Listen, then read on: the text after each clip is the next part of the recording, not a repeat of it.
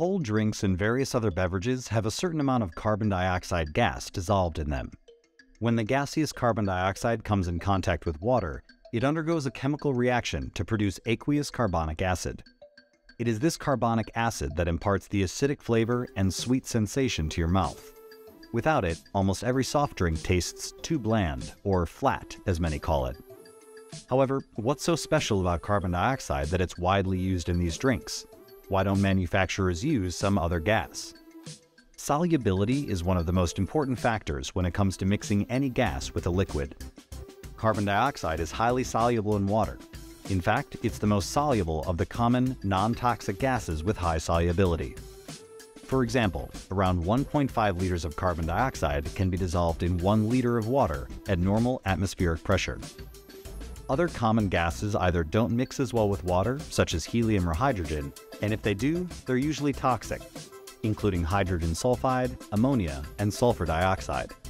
There are certain drinks that do use other gases, but such drinks are usually more expensive and less commonly consumed by the general public.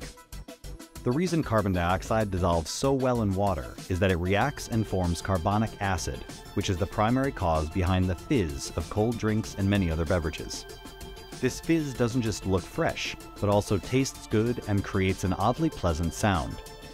In short, carbon dioxide is incredibly stable and safe when mixed with other liquids, unlike many other gases, which would generate unwanted byproducts. There are a few other gases that could serve as an alternative to carbon dioxide gas, but they're usually too expensive for a casual drinker or a small producer. Carbon dioxide is readily available, so that also helps to bring down the cost. In terms of other options, oxygen is more abundant than carbon dioxide in the atmosphere, so some have wondered if it makes more sense to use oxygen in cold drinks instead of carbon dioxide. Yes, you could add oxygen instead of carbon dioxide, provided you're okay with all of your drinks becoming undrinkable. Oxygen causes food and beverages to spoil, so you certainly can't use oxygen as an additive. On the opposite end of the spectrum, carbon dioxide does a great job preserving drinks for a very long time. Methane could potentially be used in place of carbon dioxide in cold drinks, but it wouldn't be as safe, given that methane is flammable.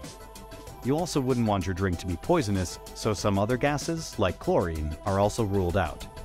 Basically, there are alternatives to carbon dioxide gas that could be used in beverages, but none of them are as safe, stable, commonly available, delicious, or cheap.